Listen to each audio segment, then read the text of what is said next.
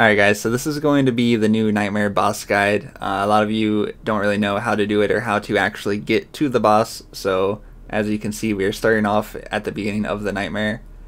And basically you're going to make your way to the vault room and you will have to have had both marbles and at least 500 Rat Boy tokens to enter this room. And basically, you can kill this boss without taking any food in, which is what I do. I think I've probably killed it already around 20 or 30 times at least, and I haven't used food at all. But basically, if you don't have the same armor I do or Gnome Rocket Launcher, you probably should take some food in because you're going to take quite a bit of damage.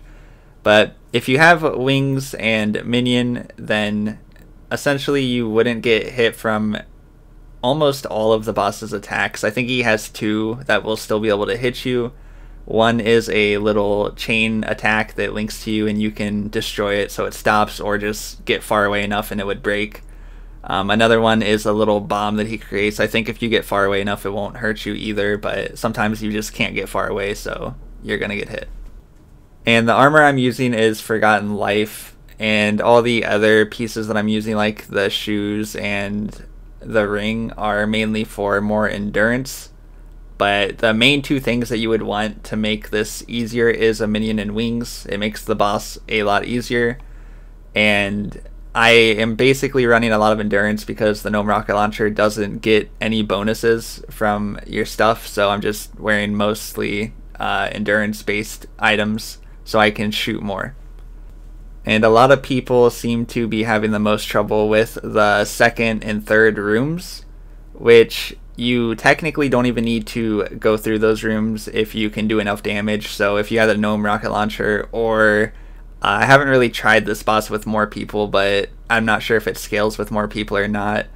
But basically, for the first room, you want to do as much damage possible to the sleeping rat boy and once he gets down to a certain percentage of his life, he will wake up and it will take you to the circus. A lot of you probably won't be able to do that much damage to him in the first room, but if you have the Gnome Rocket Launcher and around the same armor and stats that I had that I showed in the beginning, you will be able to do it with the action cancel. But most of you are going to end up having him disappear, and when this happens, you have two little guys that'll spawn down. Basically, kill them any way you can um, I'm not sure what determines this, but sometimes another one will spawn, sometimes another one doesn't. Um, either way, when you go into this next room, the easiest way that I found was to just stand with your back against one of the walls, and then you will be able to move to the left if you see the bookcase in front of you coming to you and if the one to your left is moving too, you just wait for the one to move and then move back as you see in the video. Um, I have also discovered that this room is a lot harder sometimes than other ones for some reason. Like, for instance, right now the room is just super bookcase moving, and obviously I did get hit because I moved too soon.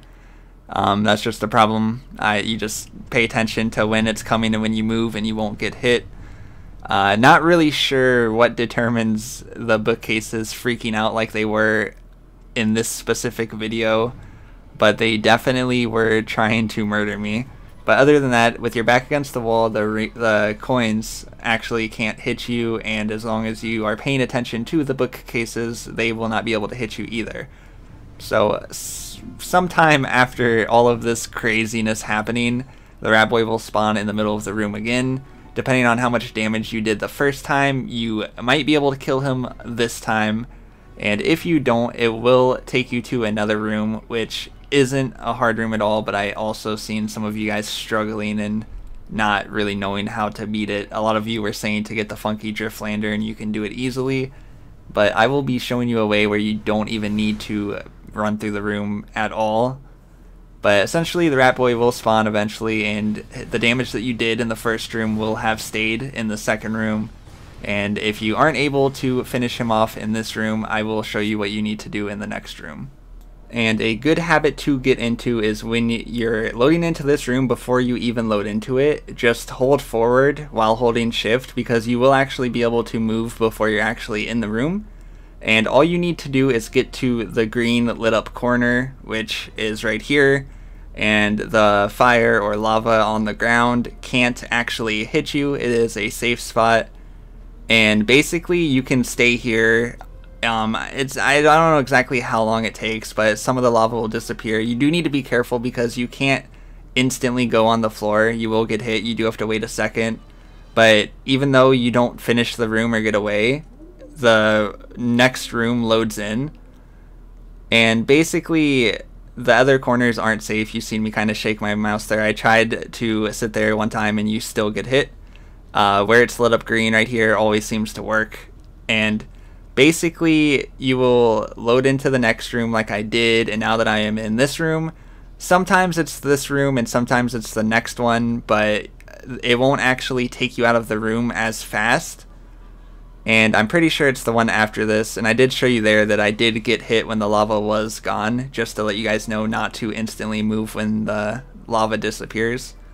But basically, you don't need to run from the fire. Um, there are like bookcases built in your way sometimes, and if you do damage to them, they will disappear, and then you can get to the safe spot in the corner. You do need to pay attention for that. I think there's one I show you in this video but basically, you just find a corner that's lit up green like this one, stand in it, wait for the lava to disappear, and then you will be safe to walk. And as you guys can see in this video clip, we will eventually follow the pathway without us loading out of the screen. We find some barrels stacked up. I think I called them bookcases, but they're just a barricade basically. And as you guys can see, we have fire still here that's slowly uh, disappearing and that is because the rat boy has spawned here. If you still haven't killed him, this is the third and last room that you are able to kill him in. Except instead of it ending right here if you don't kill him, the cycle will repeat itself and you will go back into the first room, which you should most definitely be able to kill him by this room. But if not, you would just repeat the steps again until you well, not kill him, get him low enough till when he wakes up, I guess. It's a really weird concept, but basically you're hurting him enough to wake him up, I guess. And that is this amount of health. Um, you used to be able to kill him and he dropped Rat Boy's secrets, but I think they fixed it. Uh, not really sure if it was intended or not, but either way, that is how you get to the circus. Now, for killing this boss, I really only know, like I said earlier, um, how to do it with wings and a minion. Basically, you can't get hit at all if you're just flying in the air. Uh, he has two attacks that can hit you, and one of them does quite a bit of damage, and the other one's not really a big deal, and you can pretty much destroy it before it does anything to you. And they all kind of look like this attack there. Uh, one of them is that bomb attack, which I think if you get far enough away, it wouldn't hurt you. I haven't really tried to get under it because I have a minion and I can't really do that. But another one of attacks is where he kind of just walks and you hear the explosions. As long as you're in the air, it doesn't do anything to you. Same with that little blast attack that he has. As long as you're flying in the air, it actually doesn't hit you at all. Um, I tried to get you guys to be able to see all the attacks, but he just kept using the bomb one. And if you can't kill him that fast, you would need to bring some food into this fight just to heal in case he does that specific attack because it does do a lot of damage. And I did show you guys there that you can kind of just fly away from an attack and uh, it won't hit you. But ideally, that isn't something you can do realistically all of the time. Another one of his attacks is a lot of red circles will spawn on the ground and he makes them shoot into the sky. As long as you look down and make sure there's not one under you, you will not get hurt by that attack. And another one of his attacks is the ball that he spawns there, and it kind of like links a chain to you and will hurt you over time. You are able to shoot the little circle ball that he spawns, and it will destroy it, or you just get far enough away and it will stop hurting you and it will disappear. But anyways, that is my guide on how to kill this boss. I do decide to show you guys though that you can skip all of the first rooms if you just do enough damage to the rat boy and you probably need a gnome rocket launcher to do it or a few people I think I mentioned earlier I'm not quite sure if it scales with more people or not I haven't tried it And I did decide to go ahead and show you guys what I am wearing. Basically, it is just endurance build. Um, I might have showed it earlier, but once again, it's just mostly endurance items, the 10% endurance ring, 1 HP regen, minion and wings, which I would highly recommend having a minion and wings. It just makes things a lot easier. Uh, Vital Pendant doesn't really go wrong. If you do get hurt, it will heal you enough to survive. Forgotten Life armor is just the best armor in the game still. Uh, not sure if that'll ever change, but if you don't have that armor yet, you guys should definitely save up for it. And these items right here, the Nightmare Watches, they will skip you straight to the boss fight. But like I said earlier, I am just going to show you guys that you can skip all the other rooms and get there just from beating the first room. Uh, pretty sure you probably need a gnome rocket launcher, a few friends. But essentially, as soon as you load into this room, you start shooting the rat boy and obviously you action cancel so you can shoot faster. Uh, you don't necessarily need to. Sometimes I stay longer in this room, and other times it only lasts for a few seconds, which is kind of weird. Whenever I don't make it, I'll just Alt F4 and I'll respawn right back outside.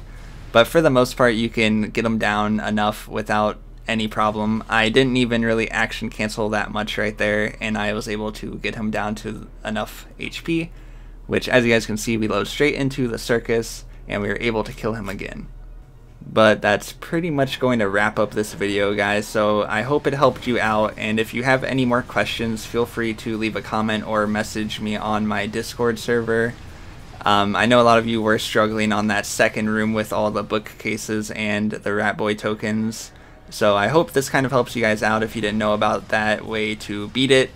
And for the third room, you can just run to the end and get to the end of every room, but staying in the corner is just a lot easier.